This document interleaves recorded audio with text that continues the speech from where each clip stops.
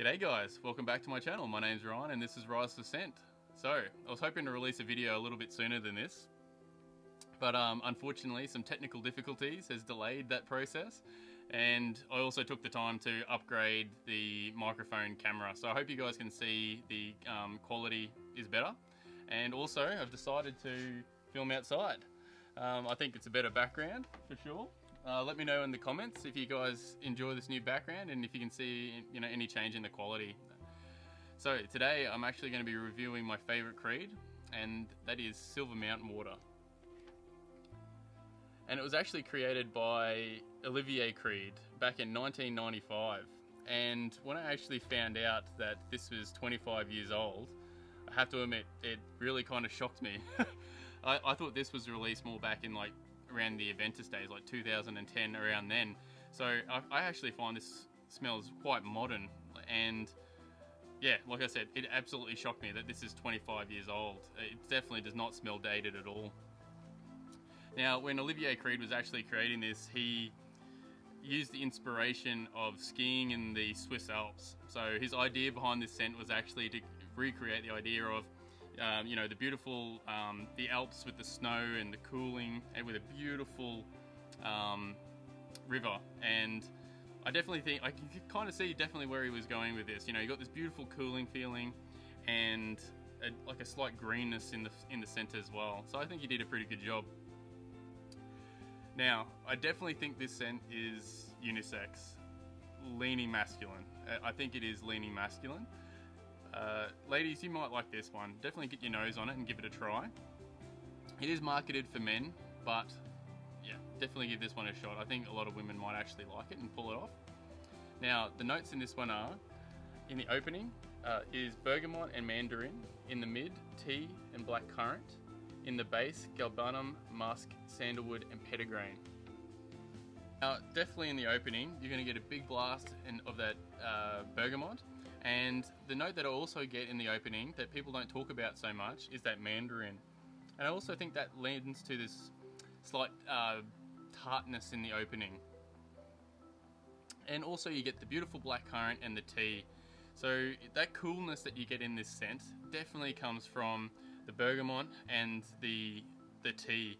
And the tea also gives a slight greenness and um, like relaxing feeling to it. Uh, also, the, one of the main notes that people talk to, and this one's quite famous for, is this inky note.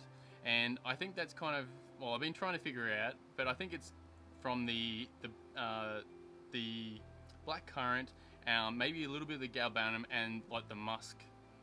It's like creating that accord, this inky accord. Now, you might like that, some people don't like it.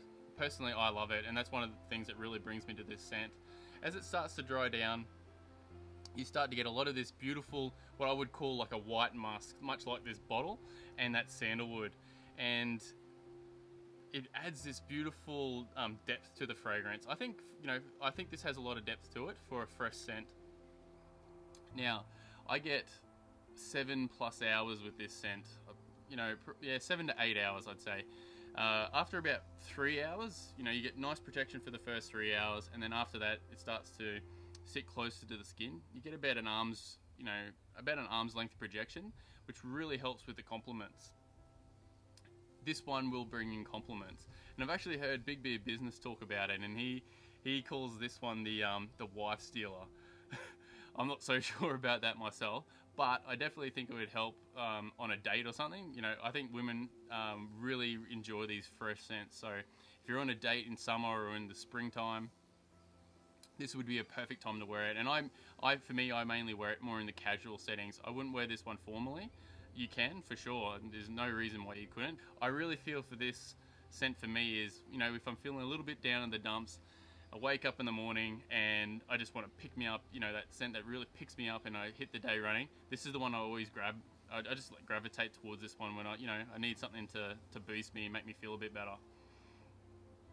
Uh, this one you could definitely wear all year round if you wanted to, but I prefer it in the spring and summer for sure. Now there's a few other scents that smell very similar. I mean, it's been around for 25 years and it smells fantastic. So obviously people are gonna have inspired interpretations. the main, one that I actually own um, is Mephisto. and by Xerjoff, and it is absolutely stunning as well.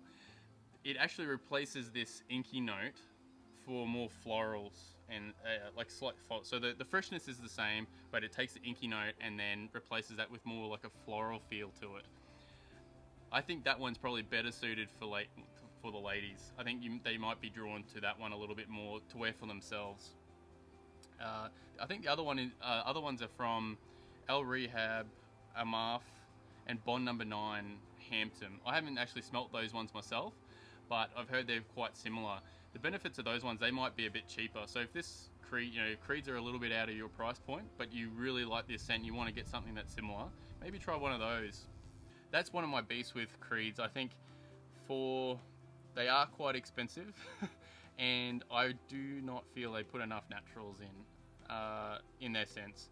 There are a lot of other niche houses that have put a lot more naturals and I really respect them for that. And I think Creed could add a lot more naturals you know, uh, more naturals to their fragrances especially for the price point. now, I hope I've done this scent justice.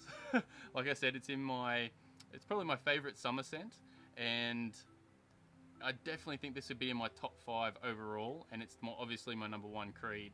So I hope you guys really enjoyed this uh, review.